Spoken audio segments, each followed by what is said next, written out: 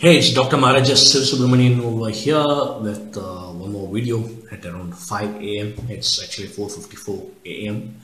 And uh, no, today is not one of those days or nights uh, when I got up early. Rather, it's one of those days or nights where I've been just working uh, overnight. I had a client call uh, going on for some really good time, some back-end work and all those things. In fact, I off my client calls uh, tonight got over at around 3 a.m.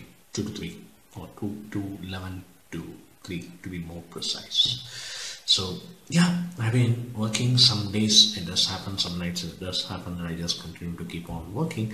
And what is it that I like to quickly share over here and what is it about? It's like are you choosing when to stay awake? Are you staying awake because you're pursuing your dreams or are you staying awake because uh, you're stressed out and frustrated that you are not able to go and live your dreams? Exactly. You know, a couple of weeks back, I had a person coming over and asking tips in terms like how to have better sleep uh, and having the sleep disturbance and all those things. One of the things which I've seen again, uh, this is not a medical advice. This is more like you know something uh, of a self-development perspective for me in terms like what I personally feel is that when you don't go behind your dreams, when you don't live your dreams, sometimes you have to live it full on, sometimes you have to live it at least a part of it, a bit of it. And when people lose out on it, then they go through a lot of stress, consciously, unconsciously, subconsciously, because of which they end up having a lot of stress related illnesses. And personally, for me, professionally, for me, I've seen a lot of people who have had, you know, like uh, suffered from a lot of problems because of the stress of not going and living their dreams uh, or you know like killing their dreams. Not even giving it a little bit of space. Like some of you may have dreams which you may not be able to live fully. Can you live a part of it? As in like you may be wanting to be a full-time businessman. However your family commitments your financial commitments and all those things may put you in a scenario where you may not be a full-time businessman you have to be an employee. So what? I mean like can you go and help a businessman? Can you do something entrepreneurial within your job can you at least do something during the weekends or something like that? No, that's a question only you have to answer. And coming up with people who have the courage, who have the scenario, who have the support, who have the systems that's helping them to go behind, uh, go and live their dreams, go and work on their goals to make it a reality, whatever may be the goals you know how much you're focused on it. Now this need not be only about entrepreneurial goals. This can be even lifestyle goals in terms of your finance in terms of your health in terms of how do you look physically in terms of your relationships in terms of how do you feel about yourself. All those things are important. And over there for this video particularly i want you to focus on three things. One is about you know worthiness. The goal that you seek. Do you feel you're worthy enough to achieve it. Now, who decides whether you're worthy or not? It's not. It's not always about your action. It's not always about the circumstances. It's not always about like uh, how much you really deserve, rather than how much you perceive yourself to be deserving. As in, sometimes it may be like, okay, I'm not at good enough to have it. However, I'm worthy enough to have it. Both of them are different. How are they different? When you feel you're worthy enough to have it, you can always, you know, like go back go and do the work that's necessary, go and learn it, go and execute, and then go ahead through the progressive journey of going and realizing your goal. So that's something different as to are you really worthy right now to get your goal, to achieve your goal right now. You can always go and start a journey to achieve it, for which you know like you have to feel you're worthy enough. A lot of people don't feel worthy, yet they have the circumstances, they have the right circumstances, they have the right support, they have the right resources, they have the right money, everything is there. However, just because they don't feel I'm worth it or you know I do deserve it, just because of that they end up doing something. What do they end up doing? They end up sabotaging it. Right? A lot of times we go through you know feelings of shame, guilt, regret, I'm not worthy enough uh, I can't have it because of this reason, I can't have it because that person told me, and all those things, or feeling bad about it, or having some negative thought patterns about what you want, or negative disempowering, rather than saying negative, I'll call it as disempowering thoughts, belief systems, or emotional systems, wherein then people lose out on making their dreams, making their goals a reality. So that's something that you want to check upon in terms like are you sabotaging your own success? Then we have the third scenario where people don't go ahead and realize their name, something that you know like especially I have seen I myself seen, you know, like work a lot in terms of my life. I had to work a lot and have my own series of breakthroughs to be able to achieve a lot of my own goals. What are they? For example, in terms of uh, you know should I could I what if but all these questions what if this happens what if this doesn't happen why should this happen why should not this happen. I want it but this is what is the scenario. What if I fail?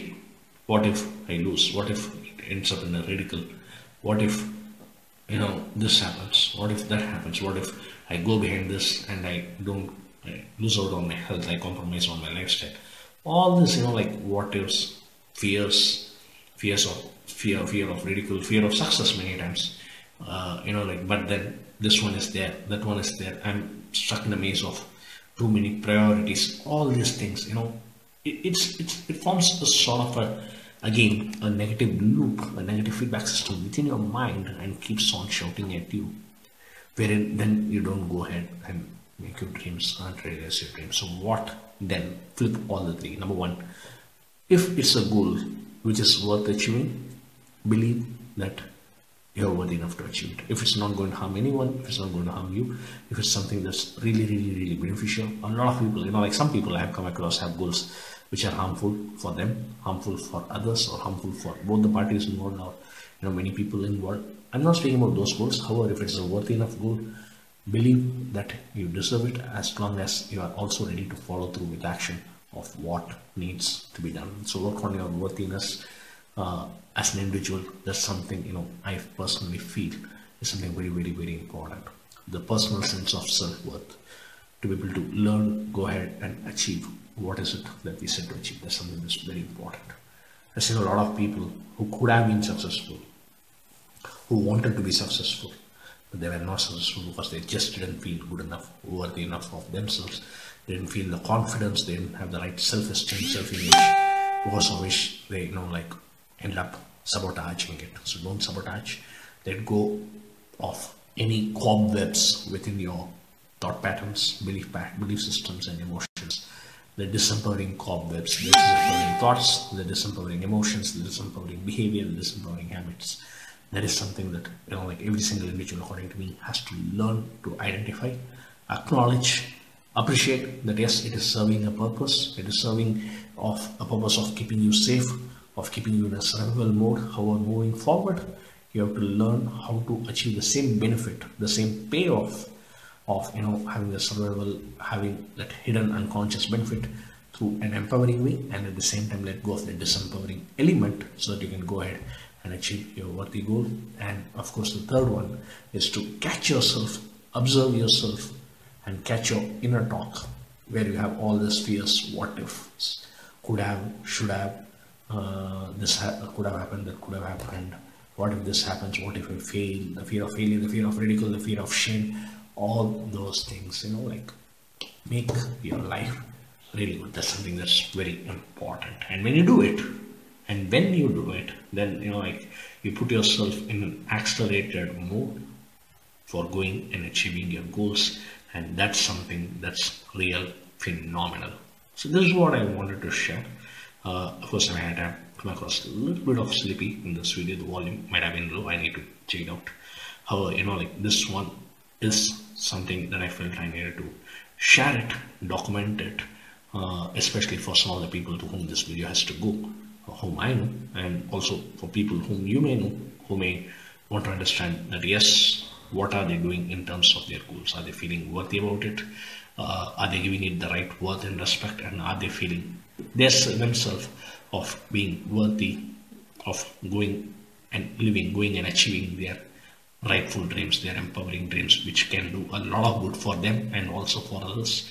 So it's about the self worth, it's about uh, you know, letting go of self-sabotage and actually putting yourself, setting yourself up for success and letting go of any disempowering thoughts, emotions, and belief systems and behavior systems and habits and actions which are in the maze of which are based upon the cobwebs of should have, could have, what if, but fear of success and all those things.